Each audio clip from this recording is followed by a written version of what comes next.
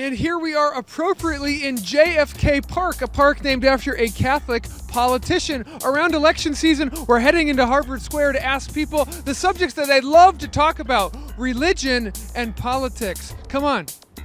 Okay, we're asking questions about religion and politics. General thoughts on the two subjects right now. I'm not supposed to talk about that.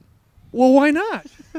Isn't that the the message that we receive all the time? Uh, we don't talk about religion and politics in polite conversation. So we're asking folks to comment on the state of religion and politics these days. General thoughts? God, oh my God. Oh, wait, that's too appropriate. Oh my God, it's too appropriate. Or we're like, don't I have to get to know you first before I talk about religion and politics with you? It's a second interview question. that's right. That's right. Do you have 20 seconds for? No. We're asking people about religion and politics. You have 30 seconds? No. Man, we're asking people about religion and politics. Any interest? No. Okay, sure, sure, thanks. What are your thoughts about Donald Trump? Uh, Do you know the religions of the two candidates? um, I believe that Hillary is Methodist and Donald is, God only knows. God only knows. Does the religion of a candidate matter to you when you're voting? Uh, no. Um, in my opinion, no, because all people should be joined together, um, regardless of what religion they are from. You know what I mean? Because clearly, Democrats and Re- Republicans have to work together. It depends on whether or not they want to support the First Amendment Ooh, side. ah, say more about. Oh, so they can be religious, but they have to support the sort of separation of church and state. Right, exactly.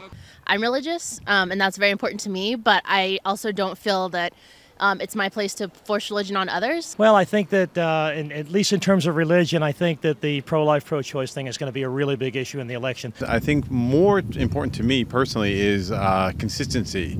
Uh, do their actions align with what their stated values are according to their religion or doctrine? Scott, do you think people are praying more this particular election?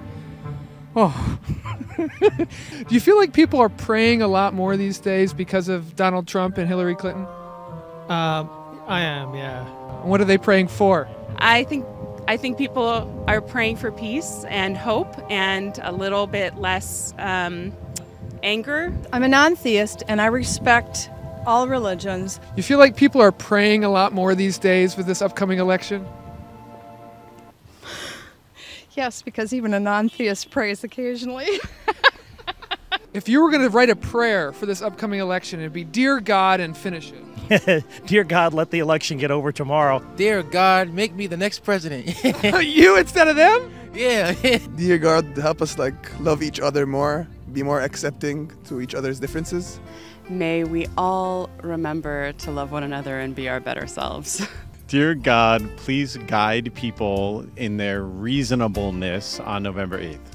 I love it. Amen. Amen. Thanks a lot, my friend. Take care. Take care.